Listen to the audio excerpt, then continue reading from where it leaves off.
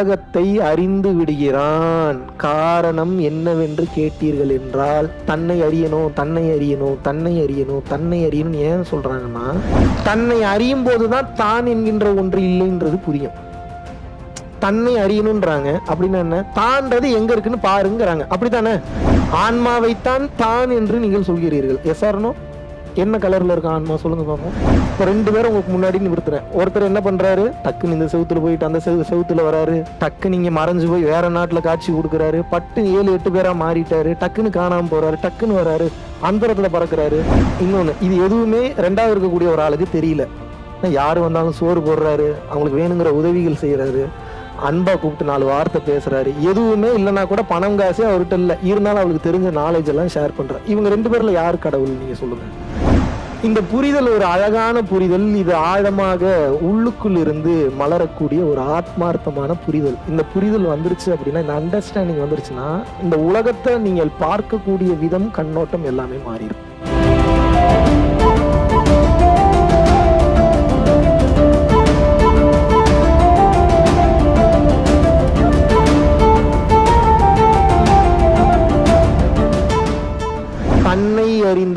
உலகத்தை அறிந்து விடுகிறான். காரணம் என்னவென்று கேட்டீர்கள் என்றால் தன்னை அறியணும் தன்னை அறியணும் தன்னை அறியணும் தன்னை அறியணும் ஏன் சொல்றாங்கன்னா தன்னை அறியும் போதுதான் தான் என்கின்ற ஒன்று இல்லைன்றது புரியும். தன்னை அறியணும்ன்றாங்க அப்படின்னா என்ன? தான்றது எங்க இருக்குன்னு பாருங்கிறாங்க. அப்படித்தானே? அப்படியா இல்லையாங்க? அப்ப அந்த தான்றது எங்க இருக்கும்? உள்ள இருக்கா? ஆன்மாவைத்தான் தான் என்று நீங்கள் சொல்கிறீர்கள். எஸ் ஆர்னோ என்ன கலர்ல இருக்க ஆன்மா? சொல்லுங்க பாப்போம்.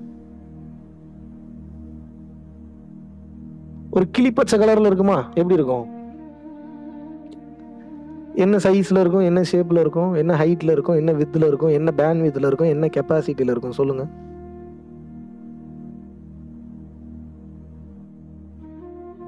தெரியாத ஒன்னா அப்புறம் நீங்க எப்படி நான்னு சொல்ல முடியும்? உங்களுக்கு ஆன்மானா என்னன்னே தெரில அதுதான் நான் நீ எப்படி சொல்றீங்க? ஏ உனக்கு என்ன வேண்டா பிரச்சனை? ஒன்று இப்படி எங்களை லாக் பண்ணுற இல்லை அப்படி லாக் பண்ணுற ஒன்று எங்களை பதில் சொல்லுன்றியா சொல்ல வேணான்றியா? உங்களை இப்படிலாம் கேள்வி கேட்க ஆள் இல்லை. இப்போ இப்போ கேளுங்களேன் நீங்கள் தான் பெரிய அறிவாளியாச்சு இப்போ கேளுங்க நான் தான் பதில் தயார் நிலையில வந்திருக்கேன். அஞ்சு வருஷம் நீ எக்யூப் பண்ணிட்டு தயார் நிலையில வந்திருக்கேன். எதுக்கு? என்ன கேள்வி கேட்டாலும் பதில் சொல்லணும் உங்களை கொன்றணும். உங்களை சும்மா விட்டுறக்கூடாதுன்றதுல தயார் நிலையில இருக்கிறேன். அஞ்சு வருஷமா உயிரை கொடுத்து போராடி தவம் இருந்து வரம் வாங்கி வந்திருக்கேன். எதுக்கு உங்களை வச்சு செய்யறதுக்கு பேசுங்க வாயை துறங்க. பேசுங்க. என்ன பிரச்சனை உங்களுக்கு? பேசுங்க ஏதாவது பேசுங்க. ஸ்பீக் சம்திங் ஸ்பீக் அப் என்ன பிரச்சனை உங்களுக்கு? உங்களால் எதை செய்ய முடியும்? ஆன்மாவை பத்தி உங்களுக்கு தெரியல. ஆன்மா என்னோடதுன்னு எப்படி சொல்றீங்க? ஒன்று என்னோடதுன்னு சொல்கிறதுனாலோ அப்படி இல்லைன்னா அது என்ன மாதிரியே இருக்குன்னு சொல்கிறதுனாலோ அதை பற்றி உங்களுக்கு தெரியணும். அது எதாக இருந்தாலும் பரவாயில்ல. எஸ் ஆர்னோ ஹமாம் சோப் எப்படி இருந்து இங்கே ஹமாம் சோப் இருக்கா இல்லையா? இல்லை. இருக்கா? பெரிய கம்பெனியாக தான் இருப்பாங்க போல். இப்போ இங்கே ஹமாம் சோப்பு நீங்கள் யூஸ் பண்ணுறீங்க ஹமாம் சோப்பு நீங்கள் யூஸ் பண்ணும்போது ஆப்போசிட்டில் ஒருத்தர் டவ் சோ சோப்பு வந்து டவ் இருக்கா இல்லையா இங்கே? டவ் இருக்கா? இப்போ டவ் சோப்பு ஒருத்தர் யூஸ் பண்றாரு. நீங்க ஹமாம் சோப்பு தான் சிறந்ததுன்னு பேசுறீங்க. இப்போ அவர் கேட்குறாரு எப்படி சிறந்ததுன்றீங்க? ஐயோ ஸ்மெல் அவ்வளோ சூப்பராக வருங்க. அவ்வளோ சூப்பராக அப்புறம் போட்டு தேய்க்கும் போது ஒரு மாதிரி நுர வருங்க. அது கையில் படுற மாதிரி இருக்குது படாத மாதிரி இருக்கு. அடாடாடாடா எப்படி இருக்கு? ஆமாம் சோப்பு ஆமாங்க. கழுத்தில் போட்டுக்கலாம் முகத்தில் போட்டுக்கலாம் தலையில் போட்டுக்கலாம். இத்தனையும் நீங்கள் எப்போ பேச முடியும்? ஹமாம் சோப்பை யூஸ் பண்ணாதான் பேச முடியும். ஹமாம் சோப்பை யூஸ் பண்ணாமல் டவ் சோப்பு யூஸ் பண்ணுறவன்ட்ட போய் உட்காந்துக்கிட்டு ஹமாம் சோப்பு எப்படி இருக்குன்னா அதோட லெவலே தெரியாமல் நீங்கள் பேசிகிட்டு இருக்கீங்கன்னு பேச முடியுமா? முடியுமா உங்களால்? சோப்பை பற்றி பேசுகிறக்கே சோப்பு என்ன ஏதுன்னு தெரிஞ்சிருக்கணும். நீங்கள் எதை பற்றி பேசுகிறீங்க சோல் பற்றி பேசுகிறீங்க நீங்கள் எதை பற்றி பேசுகிறீங்க அதனால தான் கேட்குறேன் என்ன சைஸு என்ன கலரு என்ன டைமென்ஷன் சொல்லுங்கள் தெரிஞ்சுக்கணும் நான். நானும் பார்த்ததில்ல அது வேற மேட்ரு அதை விட்டுருங்க. அப்புறம் எப்படி அங்கே உட்காந்து பேசுறேன்னு கேட்குறீங்களா உங்கள் சோலை பார்க்கல. என் சோலை நான் பார்த்துட்டேன்.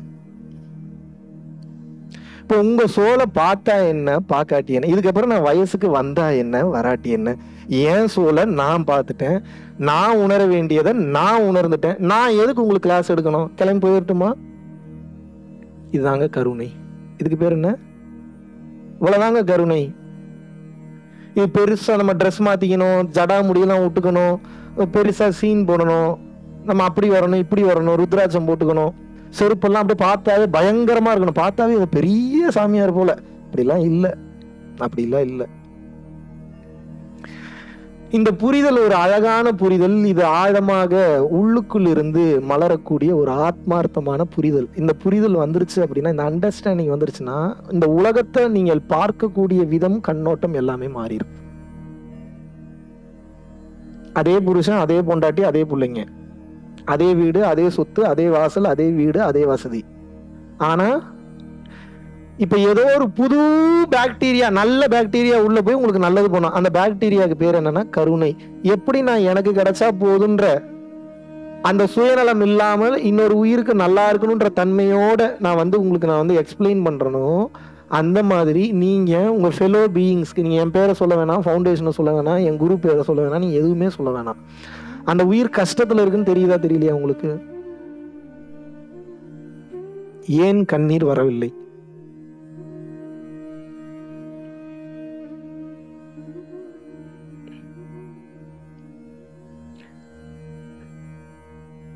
நான் இப்படி ஒரு கஷ்டத்துல இருக்கும்போது இப்படி ஒருத்தன் வந்திருந்தானே எனக்கு நல்லா இருக்கும்னு கேக்குறீங்க. கரெக்ட் தான் ஏத்துக்கிறேன்.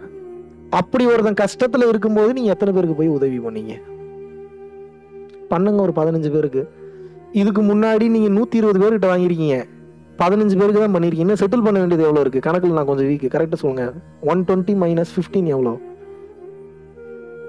எவ்வளோ எவ்வளோங்க ஒன் ஒன் ஒன் ஜீரோ ஃபைவா அப்போ நீ இன்னும் நூற்றி அஞ்சு நல்லது பண்ண வேண்டியது இருக்கு. புரியுதா? பதினஞ்சே நல்லது பண்ணவனுக்கு இன்னும் நூற்றி அஞ்சு இருக்கும். ஒன்றுமே பண்ணாதவனுக்கு எவ்வளோ இருக்கும்? எவ்வளோங்க இருக்கும்? இதில் பில்டப் வேற இறைவன் எனக்கு இறங்கி வர மாட்டாரு நம்ம பண்ணுற சேட்டைக்கு திமிருக்கு குளிக்க மாட்டீங்க பல்லு விளக்க மாட்டீங்க ஒரு வேலையும் பண்ண மாட்டீங்க. ஒரே ட்ரெஸ்ஸை நாலு நாள் திருப்பி திருப்பி போடுவீங்க. ஆனால் இறைவன் உங்களுக்குள்ள இறங்கி வந்து தாண்டவம் ஆடணும். ஆ? டேங்கப்பா. எப்படி வருவாரு? இறைவன் என்பது பவர் இல்லை. இறைவன் என்பது குணம். இறைவன் என்பது என்ன? ப்ரூவ் பண்ணிடலாமா அதை இறைவன் பவர் இல்லை குணம்ன்றத ப்ரூவ் பண்ணிடலாமா? பண்ணலாமா வேணாமா? நாலு பேர் தான் பண்ணலான்றீங்க. மீதி இருக்கிற ஆளுங்களுக்கு கடவுள் வேணான்றீங்களா நீங்க? எப்படி எடுத்துக்கிறது நான்? ப்ரூவ் பண்ணட்டுமா வேணாமா? பே பண்றேன் பாருங்க. இப்போ ரெண்டு பேரும் உங்களுக்கு முன்னாடி நிறுத்துறேன் ஒருத்தர் என்ன பண்றாரு? டக்குன்னு இந்த செவுத்துல போயிட்டு அந்த செவு செவுத்துல வராரு. நீ பாக்குறீங்க? என்னடா பண்றான் அவன்? அப்படி டக்கு நீங்க மறைஞ்சு போய் வேற நாட்டுல காட்சி கொடுக்குறாரு. பட்டு ஏழு எட்டு பேரா மாறிட்டாரு. டக்குன்னு காணாம போறாரு. டக்குன்னு வராரு. அந்தரத்துல பறக்குறாரு. இது ஒண்ணு. இன்னொன்னு இது எதுவுமே ரெண்டாவது இருக்கக்கூடிய ஒரு ஆளுக்கு தெரியல.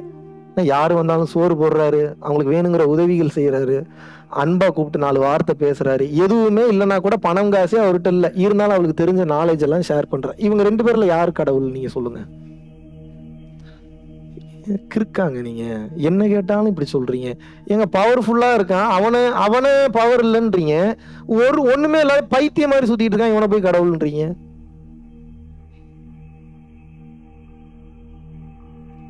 இப்ப இந்த பதில் நான் சொல்லல. இந்த பதில் யார் சொன்னது? இந்த பதில் யார் சொன்னது?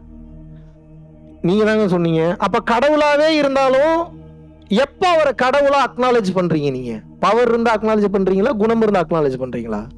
அந்த கருமத்துக்கு தான் சொல்ற குணத்தை மாத்தி தொலைங்கன்னு. புரியுதா? புரியுதா புரியலையா உங்களுக்கு?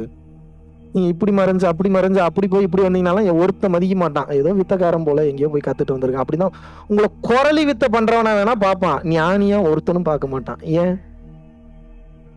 ஆனா குரலி வித்தெல்லாம் காமிச்சா கூட்டம் கூடி ரெண்டாயிரம் மூவாயிரம் பேர் உட்காந்துருவாங்க லட்சக்கணக்கான பேர் உட்காந்துருவாங்க கல்லா கட்டும். நீ நினைக்கிற மாதிரிலாம் இல்லை. ஒன்றும் இல்லை. லைட்டாக ஏதோ ஒரு ஒரு கிரிக்கிரி வேலை ஜிக் ஜிக் ஜிக் அப்படின்ட்டுனா போதும். ஏதோ ஒன்று வந்து ஏதோ ஒன்று போயிருச்சுன்னா முடிஞ்சு உலக லெவலில் ஃபேமஸ் ஆனால் அதுக்கப்புறம் நான் ஜெயிலுக்கு போகணும். தெரியுதா உங்களுக்கு? அது தெரியாது உங்களுக்கு. இப்போ ஜிக் ஜிக் ஜிக்குன்னு பார்த்து வந்தவன் ஜிக் ஜிக் ஜிக்குக்காக வருவானா? இல்லை ஆழமான அமைதி. அதுக்காக வருவானா? ஜீபும்பா வேலைக்கு தானே வருவான். ஜீபும்பாவை பார்த்து இம்ப்ரெஸ் ஆனவன் ஜீபும்பாவை கொடுன்னு கேட்பானா? ஞானத்தை கொடுன்னு கேட்பானா? ஜீபும்பாவை கொடுத்தா யாராவது உருப்படுறதுக்கு வாய்ப்பு இருக்கா? ஏன் இல்லை? பவரா யூஸ் பண்ணுவோம். Very good nice next next என்ன சொல்லுங்க? கேள்வி தானேங்க கேட்குறேன் பதில் எவ்வளோ ஈஸி ஈஸியான பதில் தானே கேட்குறேன் சொல்லுங்க. மற்றவங்களுக்கு தேவையில்லாமல் கண்ட்ரோல் பண்ணுவோம். வெரி குட் வேற? செல்ஃபிஷ்க்கு பயன்படுத்துவோம். வேற? ஈகோ வந்துடும் வேற? சோம்பேறியா மாறிடுவோம். எல்லா கெட்டதும் வரும். எதனால? குணம் இல்லை. என்ன இல்ல? அடக்கம் அமரருள் உயிக்கும் அடங்காமை ஆறிருள் உய்த்து விடும் திருவள்ளுவர் சொல்றார். பரம்பொருள் ஃபவுண்டேஷன் அப்படின்னு சொல்லிட்டு நீங்க யூடியூப்ல போய் டைப் பண்ணீங்கன்னா ஆயிரத்தி ஐநூறு வீடியோஸ்க்கு மேல வந்து நம்ம ரொம்ப கிளியரா மிகவும் தெளிவாக வெளிப்படையாக அனைத்து ரகசியங்களையும் வெளிப்படையாக கூறிவிட்டேன். ரொம்ப கிளியரா பேசியிருக்கேன். அந்த டுவெண்ட்டி ஃபோர் ஹவர் சத்சங்லாம் நீங்க பாத்தீங்க அப்படின்னா எல்லாத்தையுமே பேசியிருக்கேன் அந்த வீடியோஸ்ல சாப்பாடு இல்லாம தண்ணி இல்லாம கிளியரா கண்டினியூவா காலையில இருந்து நைட் வரைக்கும் பேசியிருக்கேன். நீங்க பாத்தீங்கன்னா தெரியும். அது போக ஏகப்பட்ட வீடியோஸ்ல ரொம்ப பிராக்டிக்கலா பல விஷயங்களை வந்து ஷேர் பண்ணியிருக்கேன். வாழ்க்கையில ஏதாவது மாற்றத்தை நீங்க மாறணும் இல்ல உங்க லைஃப்பில் மாற்றிக்கணும்னு நீங்க நினைச்சீங்கன்னா ஒண்ணு உங்க குழந்தைய பார்க்க வைங்க இல்லைன்னா நீங்க பாருங்க. உங்க குழந்தைகளுக்கு தான் யார் என்பதை உணர வைங்க. தவறான பாதையில் நூறு சதவீதம் செல்ல மாட்டார்கள். அப்படியே சென்றாலும் தவறை உணர்ந்து அழுது வருது திருந்தி மீண்டும் சரியான பாதையில் பயணிக்க ஆரம்பித்து விடுவார்கள். நன்றி வணக்கம்.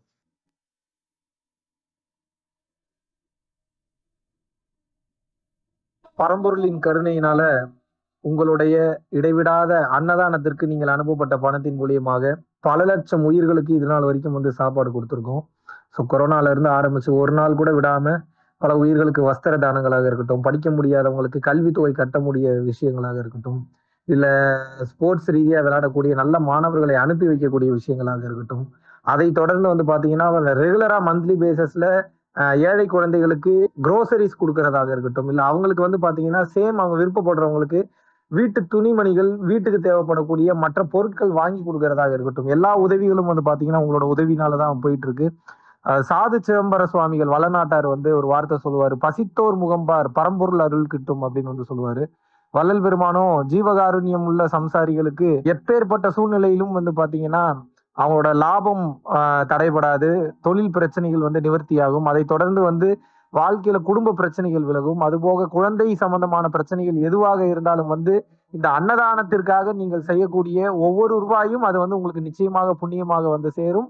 புண்ணியத்தை கடந்த நிலையில் முக்தி பாதைக்கும் அது நிச்சயமாக உங்களை வழிநடத்தும் அதனால விருப்பப்படுறவங்க நம்மளுடைய பரம்பொருள் அறக்கட்டளினுடைய சேரிட்டி ஆக்டிவிட்டீஸ்க்கு தங்களுடைய விருப்பப்படக்கூடிய நன்கொடையை கீழே உள்ள டிஸ்கிரிப்ஷன்ல இருக்கக்கூடிய அக்கௌண்ட் நம்பருக்கு செலுத்தலாம். இதற்குண்டான அந்த அருளை சித்தர்கள் உங்களுக்கும் உங்கள் குடும்பத்தாருக்கும் வழங்க வேண்டுகிறேன். குருவின் பரிபூர்ண அருளாசிகள் குரு கடாட்சம்